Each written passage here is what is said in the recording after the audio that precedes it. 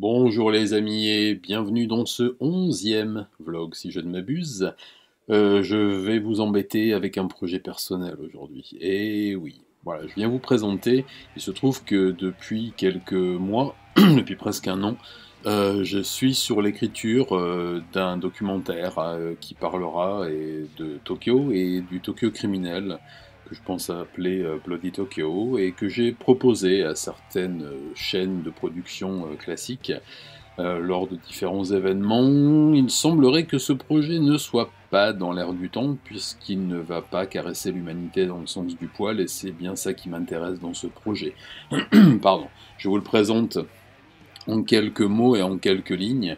Euh, ce documentaire parlera du Tokyo criminel à travers cinq grandes affaires dont j'ai déjà parlé, soit dans mes livres, soit dans mes vidéos, et qui à chaque fois correspondent à un problème intrinsèque à la société japonaise, à savoir celui des hikikomori, celui euh, de l'honneur familial, celui euh, des apprentis mafieux, celui voilà, de, de, la réclusion sociale, celui...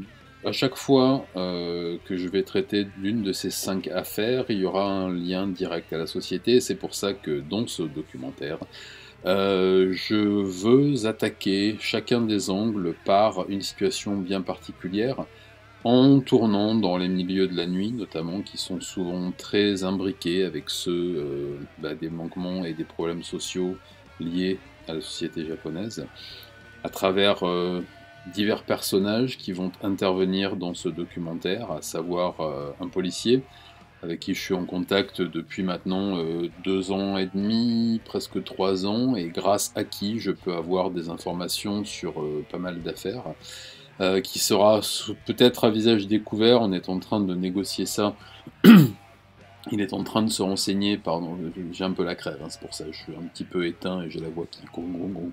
Euh, il est en train de voir avec sa hiérarchie s'il peut témoigner à visage découvert. Sinon, on fera ça euh, à visage couvert, ça n'a pas beaucoup d'importance. L'important, c'est ce qu'il a à dire. une avocate pénaliste qui a travaillé sur beaucoup de dossiers, euh, dont certains dont je vais parler, notamment euh, le massacre de Akihabara, où elle a été avocate des parties civiles. Elle a énormément de choses à dire.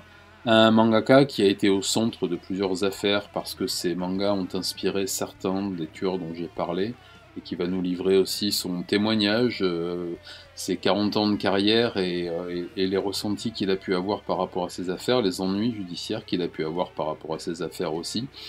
Euh, une actrice euh, du monde de la nuit à Tokyo euh, qui travaille dans les clubs depuis une trentaine d'années maintenant et qui, et qui a beaucoup de choses à dire sur ces affaires aussi avec un point de vue qui est très, très particulier puisqu'elle aussi a eu l'occasion de fréquenter certains des tueurs ou des, des gens qui ont fait la une dans l'activité criminelle.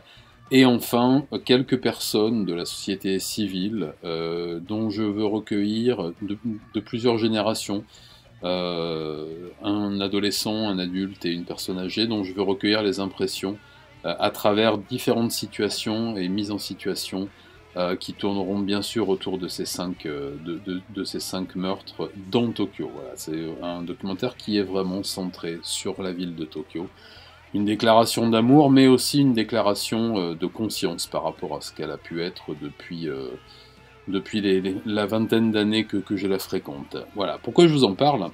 Eh bien parce que euh, j'ai ouvert une cagnotte Litchi hier pour financer le projet. Je vais en financer une partie moi-même.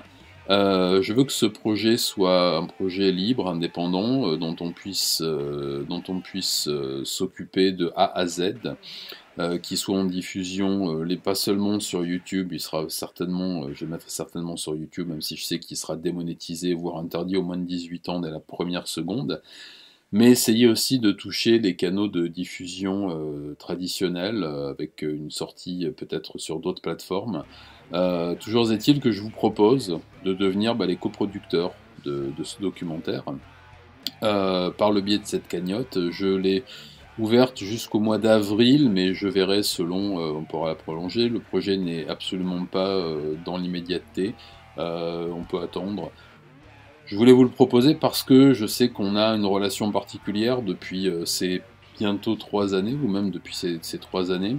et que euh, ben, si j'ai pu arriver aujourd'hui à avoir cette petite chaîne qui commence à marcher un peu, c'est grâce à vous. Je sais que vous êtes beaucoup à, commenter les vidéos, à donner vos impressions, vos avis, souvent euh, des conseils même, euh, dont certains extrêmement éclairés, et que vous avez peut-être une idée de ce que pourrait être ce documentaire, parce que je compte y mettre absolument tout ce que tout ce que j'ai pu expérimenter euh, sur la chaîne et aussi les choses que je ne peux pas faire puisque bridé par le, par le format YouTube lui-même qui, comme vous le savez, n'accepte pas vraiment, euh, comment dire-t-on, en des termes élégants, la parole libre et les évocations de choses qui ont l'air de fâcher. Euh, donc voilà, je sais que nombre d'entre vous vont trouver ce projet intéressant et je les en remercie par avance. J'ai une version euh, allégée du script qui est à disposition. Euh, sur la cagnotte euh, Litchi, je, trace les grands traits du projet. Vous pouvez aller le, lire. Je vous mettrai le lien en description, le lien vers la cagnotte, et vous verrez, il y a un résumé. Si vous avez besoin de plus d'informations, et c'est bien normal, je pourrais vous envoyer le, script, pas intégral, hein, parce qu'il y a des choses que je ne peux pas divulguer avant, mais au moins un résumé du script. Et voilà, on sera tous ensemble. Vous serez bien sûr crédité au générique. Je compte faire, euh, si j'arrive à faire ce projet, euh, des premières, euh, des avant-premières, pardon, en France et au Japon. Donc pour ceux d'entre vous qui sont à Tokyo, bah, comme je l'ai dit, ça y est, je rentre à la maison, donc on se verra très bientôt. Pour ceux d'entre vous qui sont en France, je reviendrai de toute façon régulièrement en France. Et une fois le projet abouti, eh bien, il y aura des avant-premières auxquelles vous serez invités. Euh, votre nom sera bien entendu crédité et vous aurez un droit de regard bien sûr sur le, documentaire si vous avez des choses à, dire et à redire. Euh, voilà, en attendant, bah, c'est le projet sur lequel je vais travailler là, euh, dans les mois qui viennent. le financement ne sera pas énorme. Je, je, vais avoir un apport d'une société de production documentaire en France mais ils ne peuvent pas financer le, projet à 100%. Voilà, c'est pour ça que j'ai mis comme objectif 10 euh, 000 euros, euh, ce qui est très très très très peu, hein. ça peut vous sembler énorme, mais pour, euh, bah, pour tourner et produire un documentaire, oui j'ai mal à la main. c'est très peu, 10 000 euros.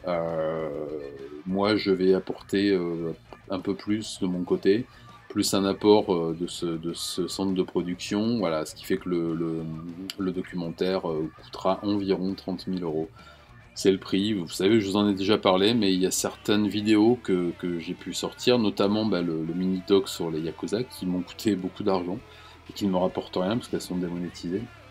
Alors euh, voilà, c'est l'occasion, euh, de, faire un travail abouti et qui pour moi serait justement l'aboutissement euh, de ces trois années à produire du contenu sur YouTube et euh, peut-être euh, passer à autre chose parce que bah, ceux qui me suivent un peu savent que moi j'ai toujours rêvé de, réaliser. C'est quelque chose qui me tient depuis mes études et c'est ce que je voulais faire. J'ai jamais pu le faire pour des raisons X ou Y, mais l'envie est toujours là.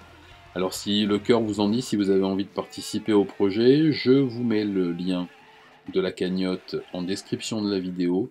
Je posterai régulièrement euh, dessus et ben, on commence une nouvelle aventure. Euh, ça ne m'empêchera pas de poster euh, les vidéos sur YouTube toutes les semaines, comme d'habitude, avec peut-être des petits changements de format, on verra, mais en tout cas, je, continue, la, je continue la mission et, les productions habituelles, mais celle-là, cette, nouvelle aventure, on, va la faire ensemble. Alors, si vous en avez les moyens, si vous en avez envie déjà, si vous en avez les moyens, euh, ben merci d'avance pour votre aide. Et puis, vous verrez, euh, je pense qu'on va, on, va passer du bon temps. Euh, pour ceux d'entre vous, une fois de plus, qui sont euh, au Japon, à Tokyo ou à, proximité, ben, on peut se voir très bientôt pour en parler. Je pourrais vous montrer déjà les repérages que j'ai faits si ça vous intéresse. Si vous avez des compétences dans le domaine audiovisuel, ben, plus on est de fou, hein, comme on dit. voilà, ben, je suis très, très excité par ce projet, même si ça se voit pas forcément parce que j'ai la crève, j'ai mal à ma main, mon arthrose qui recommence à me... C'est ça l'âge. Euh, mais croyez-moi, on est parti, euh, ça va bien se passer, comme on dit, et je pense que le résultat devrait être euh, plutôt pas mal. Alors, bah, je compte sur vous. On participe tous à cette petite aventure à, hauteur de, de nos moyens. J'ai vu qu'il y avait déjà eu des, des dons sur la, sur la cagnotte depuis hier. Alors merci à vous tous, et, toutes et tous. Et on se revoit très bientôt. Allez, je retourne travailler. Peut-être prendre un petit cachet aussi, ça va pas fort. Allez, à très bientôt. Et encore merci à vous. Matane